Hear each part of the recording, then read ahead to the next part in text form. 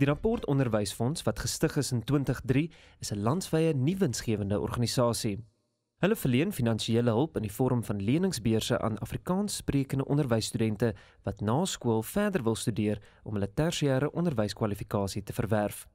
Rolf belê nie in materiële bates nie, maar in onderwysstudente om hul drome te verwesenlik en sodoende die jeug van vandag en môre op te lei en te ontwikkel. Hallo, ek is Waldemar Pelser, redakteur van Rapport en die nuwe voorsteur van die Rapport Onderwysfonds. Um, ons is baie trots dat ons verlede jaar 146 studente met onderwyslenings, uh, beurslenings gehelp het om in die onderwys te studeer in Afrikaans. Hulle het reg oor die land gekom um, en gaan oor 'n paar jaar in ons skole staan om 'n Afrikaans klas te gee, iets waar daar 'n groot behoefte is. Um, ons kyk binne die volgende paar jaar om nie net die voetspoor van die rapport onderwysfonds met ander woorde die aantal beurse wat ons toeken elke jaar te vergroot nie danksy geweldige uh, groot um, donasies wat ons kry van individue soos u en ook korporatiewe donateurs maar ook uh, 'n spesifieke beurs toe te ken vir leierskap in onderwys. Ehm um, hieroor sal meer inligting bekend gemaak word sodra dit gefinaliseer word.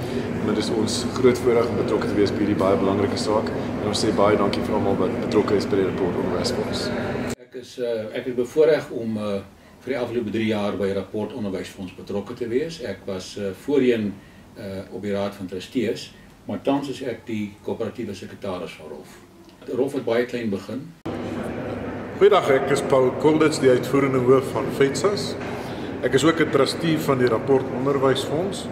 Baie trots daarop om betrokke te wees by 'n fonds wat onderwys en spesifiek Afrikaanse onderwys wil bevorder en dan natuurlik ook die opleiding van onderwysers vir studente dit moontlik maak om onderwys te gaan studeer sodat ons deurlopend uiteindelik kwaliteit onderwysers in klaskamers te hê.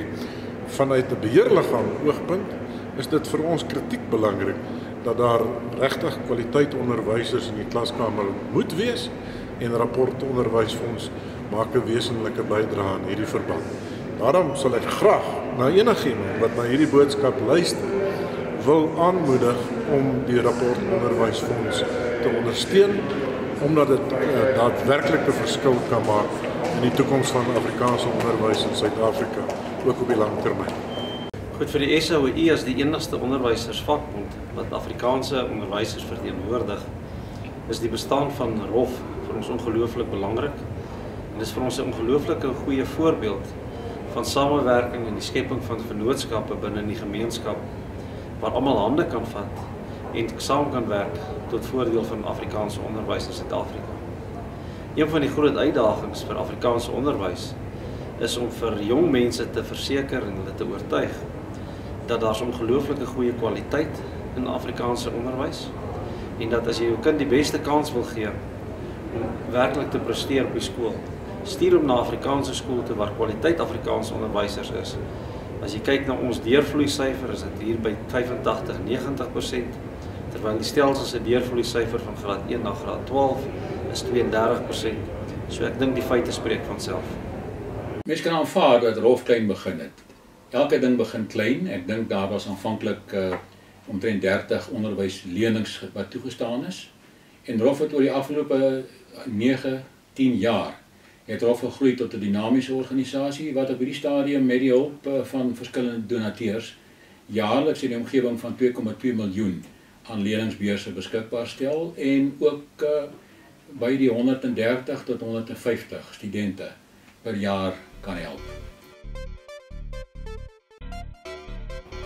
Hallo, ek is Freddie Maton. Ehm um, ek is die derde jaar student by Groenkloof kampus by Tikkies. Ek het uh, uitgekom kom van Brits af en ek het uh, daar was op 'n landbouskool. Ek het gesien ehm uh, die onderwysrapport fonds is in die koerant en toe begin ek meer navorsing te doen daaroor en van daar af het die balle net aan die rol gesit en toe kry ek um, die aansoekvorms en ek doen toe aansoek en ek kry toe die beurs En ja, en ons weet studiegeld is nie altyd die minste nie, is baie en ek is dankbaar vir rapport onderwysfonds. Ehm um, ek is nou in my derde jaar ek Afrikaans onderwyser, graad 10 tot 12 en ja, ek geniet dit vreeslik. Ek kan net meer en meer dankie sê vir rapport onderwysfonds wat hulle doen. Ek meen wat hulle terugploeg in die gemeenskap weer in. Die rapport Onderwysfonds bied aan onderwysstudente die geleentheid om aansoek te doen vir lenings, studielenings by die Afrikaanse Beursinstituut. Die lenings werk soos volg: sodra die kind afgestudeer het, kan hulle begin terugbetaal. Die aansoekproses open elke jaar 1 Mei en sluit 31 Augustus. Ons gee gewoonlik vergunning tot die 15de van die daaropvolgende maand, die September maand, so mense kan nog steeds nou aansoek doen vir beurslenings. Studente wat um, belangstel om aansoek te doen vir 'n studielening, kan ons skakel by 012 644 3906. Ek is Marie Roberts en ek is die bemarkingsbestuurder van Rapport Onderwysfonds. Die vraag wat gevra is is hoe kan jy betrokke raak? Daar's verskillende maniere waarop jy betrokke kan raak. Een, jy kan 'n ad hoc skenking maak, 'n eenmalige skenking in ons bankrekening, of jy kan 'n debietorde teken en dan maandeliks 'n skenking maak aan die fonds. Ons het ook dan ons klein sakeman skenkings wat ons kry en ons koöperatiewe skenkings wat ons kry. Daar is 'n belastingvoordeel wat jy kan kry deur artikel 18 op 'n sertifikaat wat ons kan uitreik vir jou. En ook deur testamentêre bemakings kry ons fondse.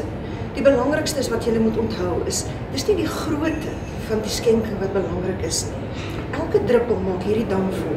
En dit is hoekom Rof oor die afgelope 10 jaar al bestaan. Dis deur elkeen van julle se bydraes wat julle gelewer het en ook aan nuwe donateurs wil ons uitnooi en sê raak betrokke by hierdie absolute noodsaaklike projek. Gegee die hoeveelheid geld wat van die regering se kant in onderwys geploeg word, is 'n fonds soos ROF steeds baie belangrik. Volgens 'n mediaverklaring deur die SAOU was die 2012 resultate van die graad 9 wiskunde jaarlikse nasionale assessering ondergemiddeld. Slegs 2.3% graad 9 leerders het meer as 50% vir wiskunde behaal. Media24 se ondersoekspan het in 'n studie oor die slaagsyfer van wiskunde en wetenskap bevind dat die helfte van die kandidaate wat in 2012 wiskunde geskryf het, minder as 30% behaal het en 1 uit 3 het minder as 20% gekry. In fisiese wetenskap het byna die helfte van die kandidaate minder as 30% behaal. Die onderwysers se ouderdomsprofiel dui op 'n dreigende tekort aan jonger onderwysers. Meer as 2/3 van Suid-Afrika se onderwysers is ouer as 40. Die grootste toekomsbehoefte is onderwysers in tale, wiskunde, ekonomiese vakke en wetenskap. Die dividende van 'n belegging in een onderwysstudent is onmeetbaar. Soos iemand eens gesê het, you can easily count the seeds in an apple, but you may never be able to count the apples in a single seed. Rolf het jou ondersteuning nodig om volhoudend voort te gaan met hierdie projek. Vir meer inligting aangaande Rolf, skakel vir Wilmarie Roberts by 021 406 3699 of besoek Rolf se webtuiste by www.rolf.org.za.